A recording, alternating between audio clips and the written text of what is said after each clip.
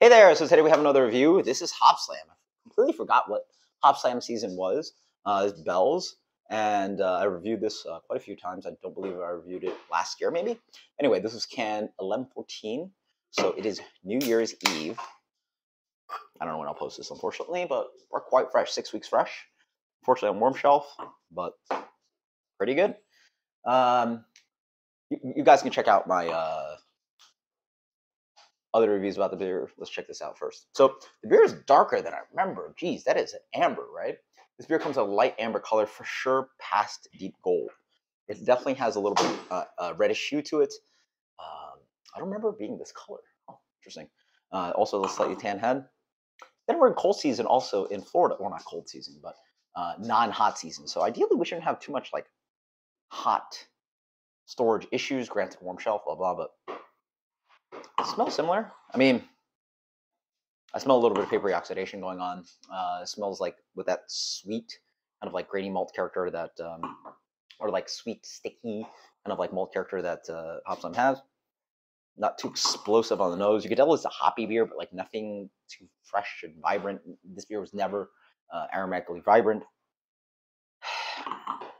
Orange marmalade, grapefruit, slight pine, sweet malt mean, six weeks, man. What do you? How do we beat that? Like, how do we beat six weeks, right? Like, what, what else are you supposed to do about this? Unless a Best By. Oh, it could be Best By. Again, I packaged. What could be the? What is the what it what is what is the canning date on this guy? Because this it says thirty nine oh five five packaged. What what could that possibly mean? I mean, like it makes no sense. I, I, all I see is 11, 14, 22. If that's the Best By, then screw me. I'll have to look it up. They had six packs of it available as well.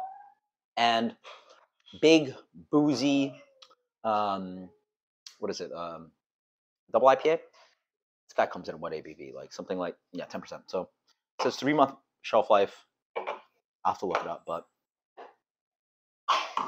let's say this beer is six weeks fresh. Um, tastes about what it should taste like. This beer never sort of like had like great oomph to it.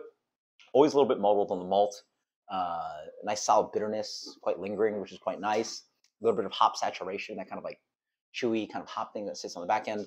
Uh, in general, hop flavors slightly piney, sweet grapefruit. Um, uh, I guess the use of honey tends to help dry out the beer and maybe offer a little bit of sweetness, but I assume that actually is more uh, from attenuation and crystal malt use, right? Crystal malt, yeah. Or darker malts than pale. It tastes like what it tastes. It is really drinkable, 10%, but doesn't really do anything specific that I'm like, wow, right? Uh, a great example would be a comparison to a simple beer like um, Terrapin Hopsecutioner, something that probably not a lot of people care about. It was on BOGO, or was discounted at the uh, local uh, beer store. That beer is fine, tasty, a shelfy, uh, fine double IPA. I've actually probably given it a decent rating. This is like a hype-ish kind of beer, and my opinion still continues. Especially if this beer is six weeks fresh. Like, man, this beer is not exciting in any sense. This beer specifically shows very little that would crush something like GABF. It doesn't have a concise clarity to it. It's a bit muddled, um, bitterness sort of sits a little bit too long. Um, it doesn't have like a nice crispness to it. Like it doesn't shine on hops or anything specific. It's a little bit sweet up front. Hey, Rocco, stop it. It's a little bit sweet up front. Um, moderate hoppiness, moderate minus for a double IPA. Um, lingering bitterness, a little bit piney, a little bit resinous, um, not too West Coasty and too danky, just like a very like middle of the roadish kind of kind of like kind of guy. Uh, I will say the prominent bitterness is actually quite nice, possibly, but again, there's nothing here where I'm like, okay, th- they did a great job on this one.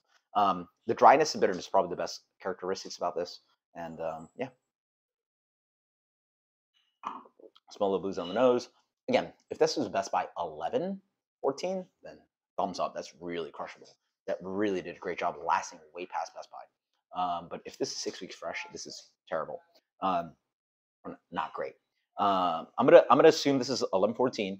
This is a good batch, fresh, and uh, I mean again, like based on when it got here, probably got to the state from Florida all the way from Michigan. At best, is three you know three weeks in the state. So it sat on the warm shelf maybe three weeks at most. Um, right, three weeks to get here from from mid uh, November, and we're at the end of uh, December. Spirit gets a solid. Mm. It is a little bit more crisp than the Hopsecutioner, I will say that. So there's a little bit more dryness to it, which is quite nice, but nothing crazy.